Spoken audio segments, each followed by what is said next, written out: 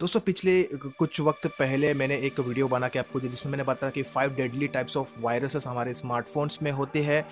लक्षण मैंने आपको बताया था, लेकिन आज इस वीडियो में मैं आपको बताऊँगा कि कैसे वायरसेस हमारे स्मार्टफोन्स पर एंटर करते हैं। तो यहाँ पर दोस्तों स्टार्ट कर सबसे पहले कि यहाँ पर आपको पता है कि ब्लूटूथ दोस्तों ब्लूटूथ एक ऐसा ट्रांसफ़र यानी कि एक ऐसा फ़ाइल ट्रांसफरर है जिसमें आप कई सारी चीज़ें फ़ाइल ट्रांसफ़र कर सकते हो। लेकिन आपको पता है, जब आप ब्लूटूथ ऑन करते हो तो ऐसे में बहुत सारे ब्लूटूथ ऑन रहते हैं। वो सिग्नल को ढूंढता है और कई कई बार तो कई कुछ ऐसे भी ब्लूटूथ से वो पैर हो जाता है, जिस वजह से वायरसेस की खतरा होता है। क्योंकि यहाँ पर जो ट्रैफ़िक जो होता है, जो ट्रैफ़िक सोर्स होता है पूरे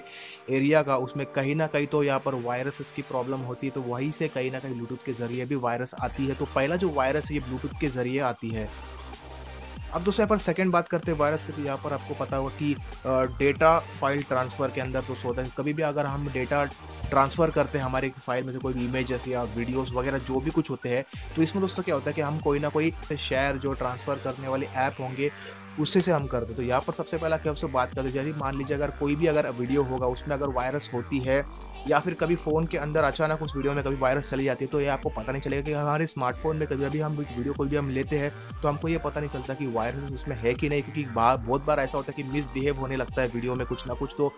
तो ऐसे में हमें ये पता नहीं लगता है कि ये सब कैसा होता है। यहाँ पर इसी की वजह से होता है, यानी जब हम कोई भी फ़ाइल ट्रांसफ़र करते हैं तो वो फ़ाइल ट्रांसफ़र के अंदर बहुत सारे वायरसेस छुपे होते हैं। कई कई बार ऐसा हमेशा नहीं हो सकता, लेकिन कुछ कुछ मामले में ऐसा होता है। अब दोस्तों यहाँ पर थर्ड बात करने वाले वाईफाई आता है। दोस्तों यहाँ पर आपको पता हो वाईफाई दोस्तों एक सबसे बड़ा एक सोर्स है, यानी कि इंटरनेट के बाद हम वाईफाई के ज़रिए हम ज़्यादा ज़्यादा करके हम ज़्यादा से ज़्यादा हम डेटा यूज़ कर सकते हैं। तो वाईफाई में दोस्तों क्या होता है कि वाईफाई एक पूरे वर्ल्ड वाइड है, यानी कि अगर आप ज़्यादा नेटवर्क आपको पावरफुल आपको वाईफाई मिल रहा है तो सब क्या होता है कि वाईफाई के अंदर भी कभी कभार बहुत सारे वायरस छुपे होते हैं, जो हमें पता नहीं है। और वाईफाई अगर हम सही ढंग से अगर यूज़ ना किया जाए तो ऐसे में क्या होगा कि कुछ कुछ वाईफाई ऐसे होते हैं जिसमें काफ़ी सारे वायरसेस भी होते हैं लेकिन हमें पता नहीं चलता कि कई बार ऐसा भी होता है कि अगर हम वाईफाई यूज़ करेंगे उसका भी वायरस हमारे स्मार्टफ़ोन में आ सकता है। फॉर एग्ज़ाम्पल मेरा भी पास एक स्मार्टफ़ोन था उसमें भी काफ़ी सारे वायरसेस आ गए थे और उसी की वजह से मुझे बाद में वो फ़ोन जो है मुझे फिर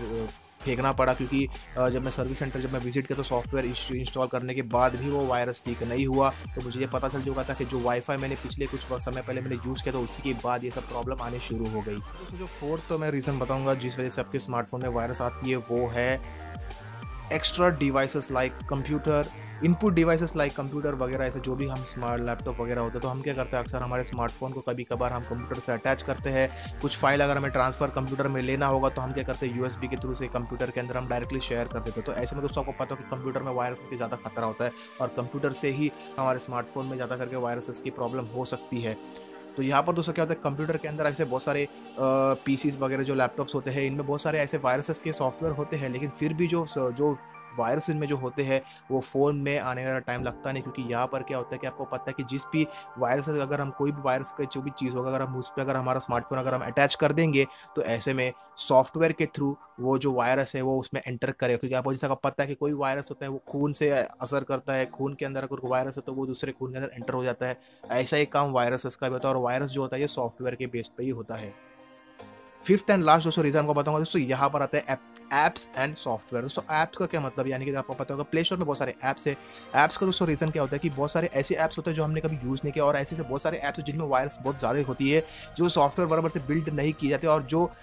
अनरिकमेंडेड जो ऐप होती है, उसमें काफ़ी सारे वायरसेस के प्रॉब्लम होती है। जो एडिटर चॉइस होता है, आपको पता है, वो ज़्यादातर के बहुत ही बढ़िया तरह से बनाई जाती है, उसके सॉफ्टवेयर हर जगह इस पर हर चीज़ों में वो आगे होता है। लेकिन यहाँ पर अगर हम बात करेंगे दूसरे ऐप्स की, जो नॉर्मल जो हमें पता नहीं तो ऐसे बहुत सारे वायरसेस वहीं से क्रिएट हो जाते हैं। कभी कभार क्या होगा आपने कभी नोटिस किया आपने कोई ऐप अपने ले लिया और आपका जो फ़ोन है, वो मिसबिहेव करने लगा लैग हैंग हीटिंग करने लगा तो ऐसे में ये वायरस की वजह से ही होता है, क्योंकि बहुत सारे ऐसे ऐप्स में वायरस की भी इशूज़ होती है। और कई कई बार अगर आप उस वायर अगर उस ऐप को आप नहीं निकाल दे तो ये फ़ोन में परमानेंट प्रॉब्लम भी बन सकते हैं। दूसरी बात करते हैं यहाँ पर सॉफ्टवेयर का, सबको पता है कि हमारे स्मार्टफोन्स में सॉफ्टवेयर एक बहुत बड़ा एक रोल प्ले कर रहा है और सॉफ्टवेयर की वजह से पूरा स्मार्टफ़ोन जो है वो रन करता है कंट्रोल एडजस्टमेंट जो भी हम सॉफ्टवेयर की वजह से कर सकते हैं।